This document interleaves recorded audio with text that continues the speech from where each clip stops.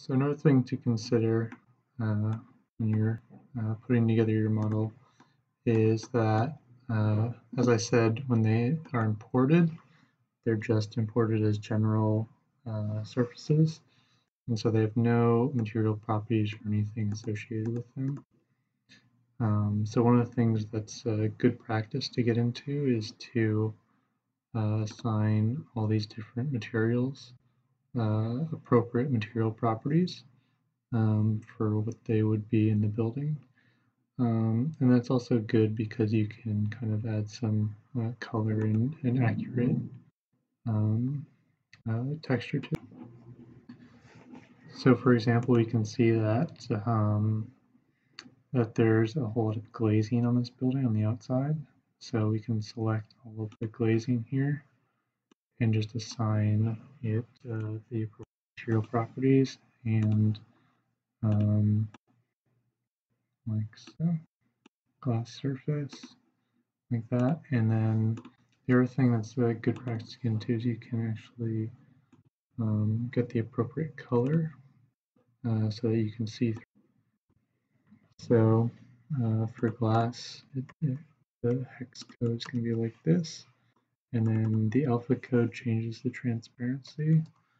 Um, so now when you hit OK, your glazing actually resembles glass. Um, so the resemblance is nice because it allows other people to kind of visualize what you're visualizing.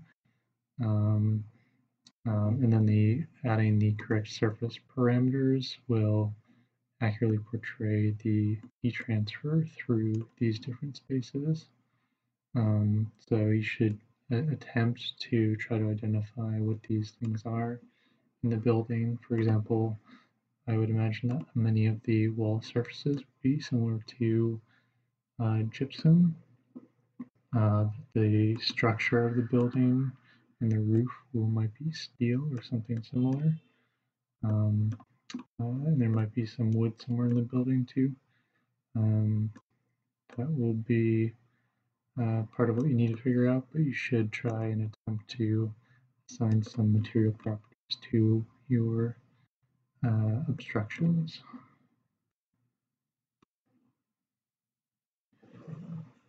Um, the other thing that uh, you might want to look up for is for, for these models, we're going to need to do a little bit more work in terms of what the exhaust is going to be. Um, 2D. And so um, one of the trial designs for an atrium fire, which is the kind of the case I'm going over, is to uh, uh, exhaust the smoke out of the building. And so I would highly recommend you to um, use vents when you're doing this um, because it's going to give you a little bit more confidence that you're modeling things correctly. Um, uh, again, the size is something you'll need to calculate uh, appropriate to the general exhaust volume volumetric rate that you want to uh, achieve. Um, when you use vents, you can assign a blower and you can actually see what direction it's going to um, uh, exhaust air before you uh, model it. It's really important to get this right because if you make a mistake, then uh, it can be extremely time consuming to have to redo a model. So guessing, um, making sure that everything is correct is extremely important. Um, so if you sign in the event in exhaust, uh, like I just did, you'll you'll see that it's attached to the surface. Um, but I would recommend that even though PyroSim thinks it knows what you want it to do, that you assign it so you can actually see uh, what's going on. So because this is an exhaust, uh, it's always going to be pointing away from the object that you're placing the vent on. So this exhaust will exhaust in.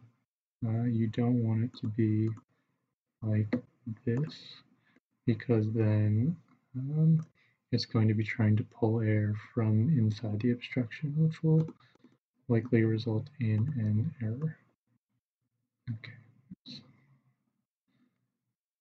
Uh, the same thing uh, is going to be important for doing the makeup air. Um, um, so it's just one thing to keep in mind. Uh, a couple other things to keep in mind with these models is um, some of the other outputs that you might see. Um, uh, mostly slice files and devices are kind of the standard for uh, how you're going to display the results of your model, but if you are trying to do something specific, ISO surfaces can be um, pretty important for uh, visualizing different things, but the negative to using ISO surfaces they're extremely uh, large, and so it'll take a little bit more time to, uh, to model something with an ISO surface, especially if you use many of them. Uh, boundary quantities can also be very important if you're looking to see what the heat transfer is to a specific boundary or if you're looking at uh, flame spread or things like that. Um, but again, this is going to create a extremely large uh, output file, um, uh, which may or may not be what you're interested in. Um, you're going to want to make sure that your simulation parameters are what you want uh, in terms of what your start time is and what your end time is. Um, if you're curious about how things are going to be operating, if you're using control devices instead of just times, um, you can put your start time around when uh, when those things are going to be occurring. So let's say you have the fan starting at 60 seconds after the fire, and you just want to run a quick model to see if that's actually what's going to happen you can have this start like 50 seconds or so, and then you can see what will happen. Um, but typically for modeling the whole scenario, going want to keep it at zero. I would highly recommend not touching initial time step. FDS finds the time step using the uh, CFL criteria, mainly based on um, uh, keeping the low Mach flow assumption um, correct. So the time step will be as low as it needs to be. Um, so uh, unless you're uh, doing something specific, I wouldn't touch that. Um, another thing to keep in mind is uh, when you're looking at the smoke in the space, uh, that's called the soot mass fraction. So that's what this is. You can change it to any species that you want. Usually mass fraction is, is good.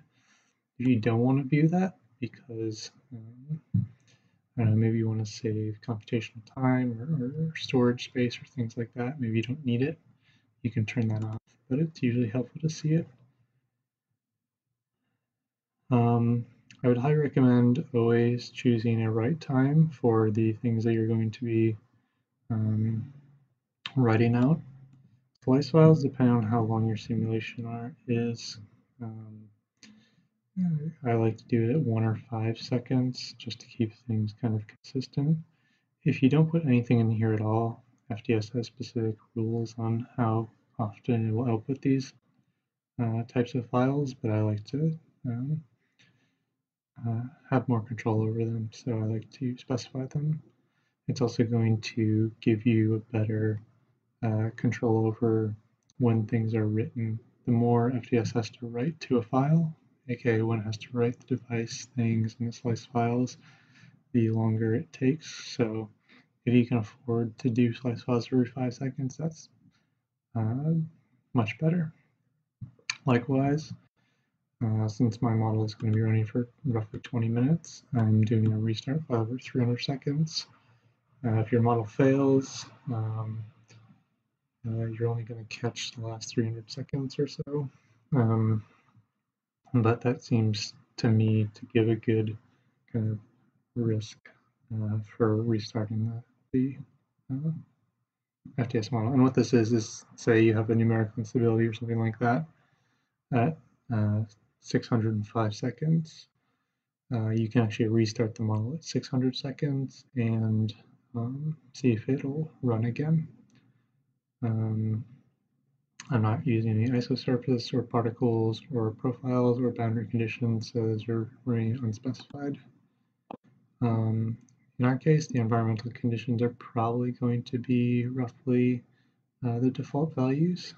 Uh, since the building is in Seattle, you might want to look at some of those things um, in terms of the temperature or humidity, um, but we're uh, not requiring you to do that. Um, uh, there's a number of different things that you can use here that are a little bit more advanced if you're working on different um, uh, things. If you're analyzing wind, ground level is important. If you're changing the visibility for some reason, you can change these values. But um, if you're choosing to change those, I would highly suggest you explain why you're doing that. Uh, you can use wind if you think that's important. Changing the gravity is, is a good feature if you're dealing with tunnels, things like that. Um, there's a number of things in here about the kind of uh, fluid dynamics of FDS and, um, and how fluids behave. Uh, I would not suggest changing these unless you have a good reason and, and you can explain uh why you're changing these. Um, same with radiation and all these things. And then as always in PyroSim, it gives the option to add in uh, your own um, uh, fields. So that's kind of the kind of overview of the miscellaneous things that you might want to be thinking about when you're building your model. Um, yeah, so that's kind of an overview of finding surfaces, making sure that you're using uh, vents, and then kind of the parameters you want to run FDS.